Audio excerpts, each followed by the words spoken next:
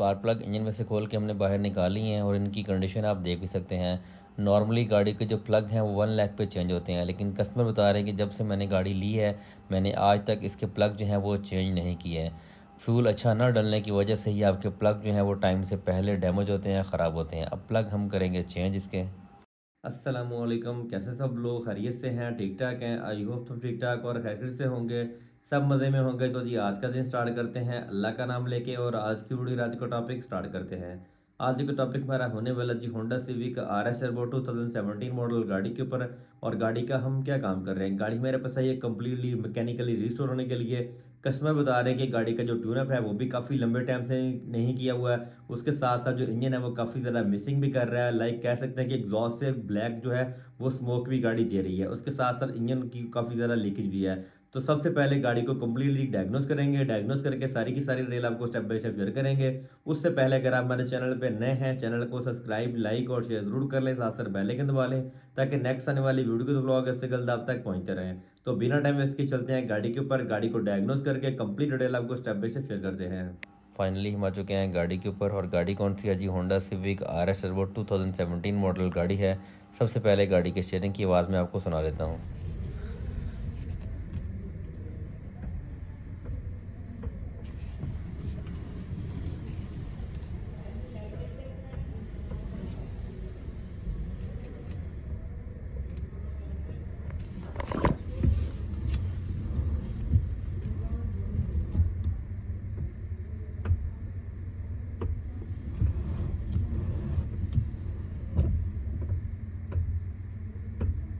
Steering को full left और full right turn करके मैंने आवाज़ आपको सुना दी है कि किस तरह की स्टेयरिंग असम्बली से आवाज़ आ रही है।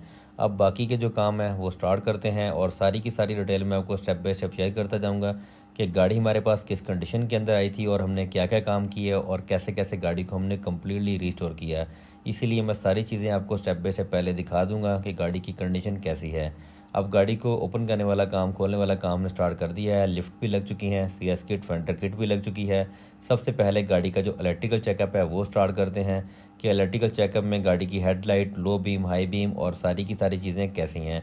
बाकी जो इंजन है, वो भी काफ़ी ज़्यादा मिसिंग कर रहा है और कस्टमर बता रहे हैं कि सम टाइम गाड़ी जो है, वो अच्छा खासा ब्लैक जो है, वो धुआँ भी देती है। Headlight low beam high beam hazard light इसकी पार्किंग लाइट इसकी फॉग लैंप राइट साइड की बिल्कुल ठीक है। और अभी आ चुके हैं हम लेफ़्ट साइड के ऊपर। लेफ़्ट साइड की भी low beam high beam parking light hazard light fog light बिल्कुल ओके है। इसके साथ साथ हॉर्न भी बिल्कुल ठीक है। शावर जो है वो भी बिल्कुल ओके काम कर रहा है। इसके साथ साथ अभी आ जाते हैं टेल लाइट के ऊपर। लेफ़्ट साइड की टेल लाइट सारी की सारी बिल्कुल ओके है। पार्किंग भी ब्रेक भी रिवर्स भी हैज़र लाइट भी बिल्कुल ओके है। ब्रेक लाइट अपर वाली भी बिल्कुल ओके है। और राइट साइड की लाइट्स जो हैं वो भी बिल्कुल हंड्रेड परसेंट डन है। अभी गाड़ी का जो इंजन है, वो गाड़ी में से बाहर निकालने वाला काम हमने स्टार्ट कर दिया है, क्योंकि इस गाड़ी के जो इंजन के अंदर काफ़ी ज़्यादा लीकेज है, उसको भी हम बिल्कुल हंड्रेड परसेंट डन करेंगे। जो जो काम हम इस गाड़ी के करेंगे कम्प्लीटली रिस्टोरेशन के अंदर, वो हर चीज़ मैं आपको स्टेप बाई स्टेप दिखाता जाऊँगा। मेरा मकसद सिर्फ़ यही होता है कि डिटेल वीडियो बनाने का, ताकि मैं अपने सब्सक्राइबर अपने भाइयों के लिए अच्छे से अच्छा कॉन्टेंट लेके आऊँ और अच्छे से अच्छी डिटेल शेयर करूँ आप सबसे, ताकि अगर आप भी अपनी गाड़ी का काम करवाते हैं तो आपको ख़ुद को पता होना चाहिए कि आपने गाड़ी का क्या काम करवाना है और उस काम को आपने कैसे करना है, ताकि कोई भी बंदा आपकी गाड़ी के ऊपर गलत काम ना करे।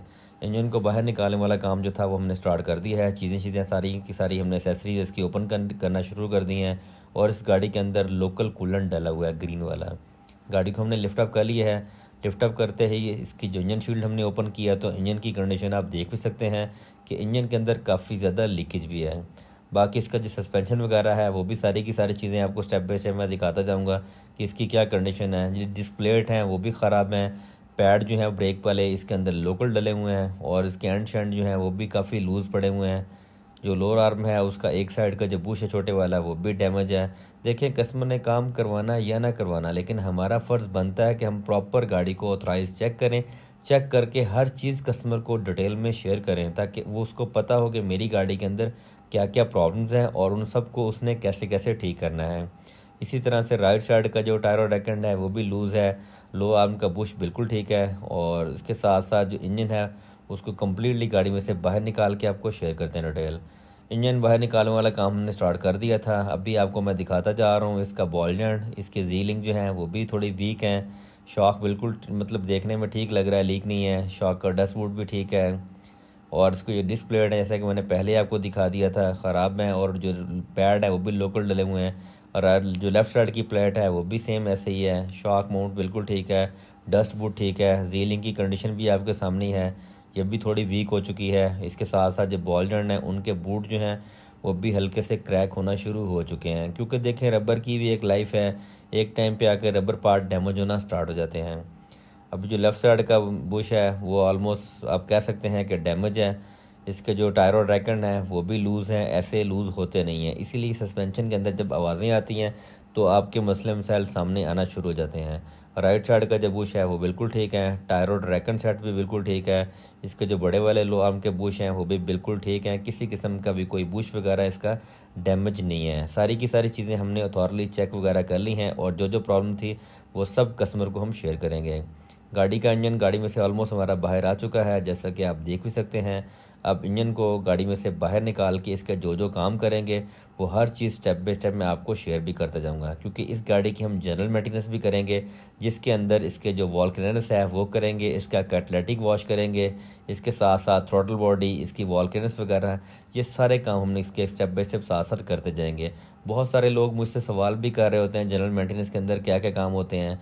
जनरल मेंटेनेंस के अंदर बहुत सारी चीज़ें आ जाती हैं, जैसे वॉल क्लियरेंस हो गई आपका कैट हो गया, इंजेक्टर हो गया थ्रोटल बॉडी हो गई, इसका gear oil CVT oil CVT के फिल्टर्स हो गए, इसके साथ साथ brake service general checkup computerize checkup wheel alignment balancing बहुत सारी चीज़ें आ जाती हैं। जब आप इंजन ट्यूनअप करते हैं तो इंजन ट्यूनअप में जस्ट इंजन के ही काम होते हैं, जिसमें थ्रोटल बॉडी कर लें वॉल क्लियरस कर लें स्पार्क प्लग कर लें, इस तरह की चीज़ें आ जाती हैं। इंजन हमने गाड़ी में से बाहर निकाल लिया है और इंजन की बिफोर की कंडीशन आपने देख ली है। कि इंजन की बिफोर की कंडीशन कैसी है? Honda Civic R S turbo two model गाड़ी है, जिसमें ये अर्थरीम इंजन आता है वी टेक वाला। अब जो इसका टर्बो का इंटेक है, इसको भी ओपन करते हैं, क्योंकि इसका जो कैटलेटिक है, वो भी हमने वॉश करना है, और मैं आपको बिफोर एंड आफ्टर दिखाऊँगा कि उसकी कंडीशन कैसी है, और वॉश होने के बाद की कंडीशन कैसी है। टर्बो इन जो इनलेट था, वो हमने ओपन कर लिया है। अब मैंने आफ्टर मार्केट भी लास्ट में गाड़ी के अंदर इंस्टॉल किया था वो मैंने आपसे शेयर भी की थी वीडियोज़ कि उसमें और इस साइज़ में कितना ज़्यादा फ़र्क है। जब आप इतना बड़ा इनलेट आफ्टर मार्केट लगाते हैं पीआरएल का तो इंजन की जो साउंड है टर्बो की साउंड है, वो भी चेंज हो जाती है। इसके अंदर भी अच्छी खासी कार्बन है डस्ट वगैरह है, इसको भी अच्छे तरीके से क्लीन करेंगे। और टर्बो की कंडीशन आप देख भी सकते हैं। ये टर्बो जो है, वो ये कंपनी जो गाड़ी के अंदर लगा के देती है, ये वो वाला टर्बो है। लेकिन जो मेरे पास से और गाड़ियाँ आती हैं, मेरे प्यारे भाई जो मेरे पास आते हैं, उन गाड़ियों के अंदर आफ्टर मार्केट टर्बोज इंस्टॉल हैं, जिसमें वर्गस है आर वी सिक्स वगैरह के आते हैं, और वो फिर गाड़ी का जो कैट है, वो भी निकाल देते हैं हेडर्स डाल देते हैं, ताकि गाड़ी का जो साउंड है, वो थोड़ा बेहतर हो जाए। लेकिन जनरल गाड़ी के अंदर ये टर्बो आता है, जो कि मैंने आपको दिखा भी दिया है। अब इसका जो कैट है, इसको भी खोल के अच्छे तरीके से वॉश करेंगे, और इसका जो गेयर है, उसको इंजन से अलग करके, उसकी जो टॉर्क कन्वर्टर सील और मेन सील है, वो भी हम इसकी चेंज करेंगे। वो उसकी लीकेज काफ़ी ज़्यादा है, इसलिए मैं आपको दिखा भी देता हूँ। इंजन को गेयर को हमने अलग अलग कर लिया है। अब मैनुअल सील भी चेंज करेंगे थ्रोटल बॉडी की भी कंडीशन आपके सामने है। यह भी लगता है कि आज तक कभी भी सर्विस नहीं हुई, जितनी इसके अंदर कार्बन है। इसको जब सर्विस करेंगे, वो भी मैं आपको साथ साथ बता दूँगा कि इसकी कंडीशन कैसी थी। ये आ चुका है हमारे पास C gear R S turbo का। अब इसका टॉर्क कन्वर्टर इसमें से बाहर निकाल के आपको दिखाते हैं कि इसके अंदर लीकेज वगैरह कितनी है। आज की वीडियो के अंदर जो जो काम हुए हैं, वो सारे के सारे मैंने दिखा दिए हैं। नेक्स्ट वीडियो के अंदर हम जो जो पार्ट इसके चेंज करेंगे चुनअप कैसे करेंगे प्लग्स वगैरह कौन से डालेंगे, वो हर चीज़ हमारे नेक्स्ट व्लॉग के अंदर आपको पता चल जाएगी। और जो इस सीरीज़ का लास्ट व्लॉग होगा, उसके अंदर मैं पार्ट्स प्राइस प्लस लेबर्स आपको टोटली शेयर करूँगा कि इस गाड़ी को हमने जो रिस्टोर किया है, जो ये काम किए हैं, उसके ऊपर टोटल कॉस्ट क्या आई है।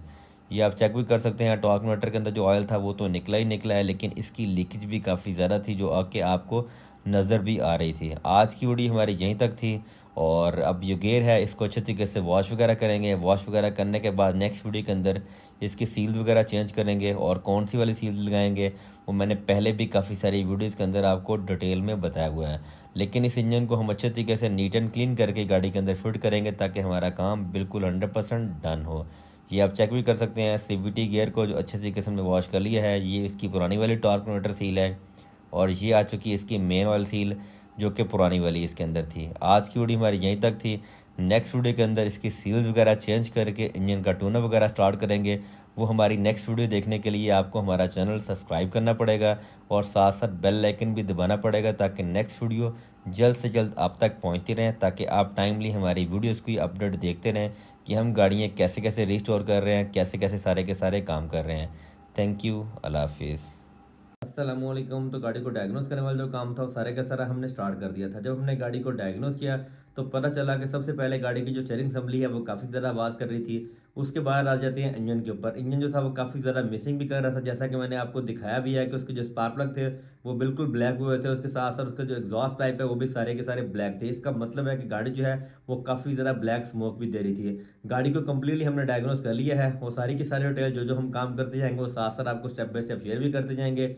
आज की डेट के अंदर जो इंजन था, वो गाड़ी में से हमने बाहर निकाल लिया था, क्योंकि उसकी टॉर्क इन्वर्टर और मेन सील काफ़ी ज़्यादा लीकेज कर रही थी। मेन सील और टॉर्क सील वो कैसे कैसे चेंज करेंगे, बाकी गाड़ी के ऊपर कौन कौन से हम काम करेंगे, कैसे कैसे करेंगे, कौन कौन से पार्ट हम चेंज करेंगे, वो सारी की सारी डिटेल मैं आपको स्टेप बाय स्टेप शेयर करता जाऊँगा।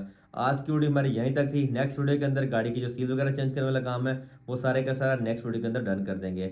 आई होप आज की वीडियो और आज का ब्लॉग अब सबको अच्छा लगा होगा। मजीद इस तरह की वीडियोस और व्लॉग्स के लिए चैनल को सब्सक्राइब लाइक और शेयर ज़रूर कर लें साथ साथ दबा लें, ताकि नेक्स्ट आने वाली वीडियो ब्लॉग इससे जल्द आप तक पहुँचते रहें। मिलते हैं नेक्स्ट ब्लॉग में इन तब तक अपना बहुत सारा ख्याल रखिएगा। थैंक यू अल्लाह हाफिज़।